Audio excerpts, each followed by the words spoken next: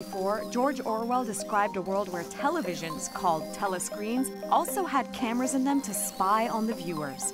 Your computer, or even your mobile phone, has all the hardware to be turned into a spying device just like a telescreen. Modern computers are designed so that the user of the device has control over the programs that run on the machine. But sometimes others try to take control of your computer or phone. Malicious hackers have been doing this since, well, at least 1984. The term for remotely taking over control of a computer is owning or pwning it. Here's how to protect yourself against such an intimate violation of your privacy. The most common way your computer can get owned is if you get tricked into running a program. That can happen if you click on an email attachment that appears innocent but is actually malicious. Malicious software is called malware. It can turn on your computer's microphones and broadcast your conversations. It can record your screen, watch what you type on your keyboard, copy files, and even insert false records. Malware is most often used for stealing passwords and identity theft, but it can be used for political purposes too.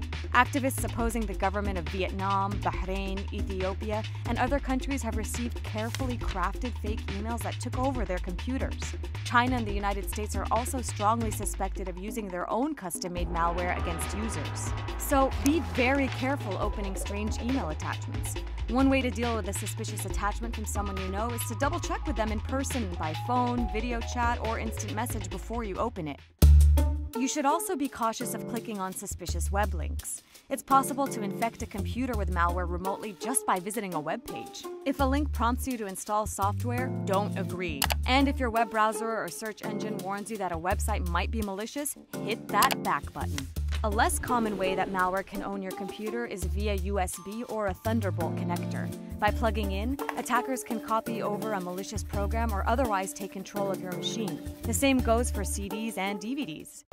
This all may sound scary, but always remember that when it works correctly, your computer is designed to fend off these malware attacks.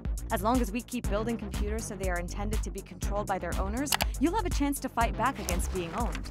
For more about malware and detecting remote attacks on your computer, check out the Electronic Frontier Foundation Surveillance Self Defense.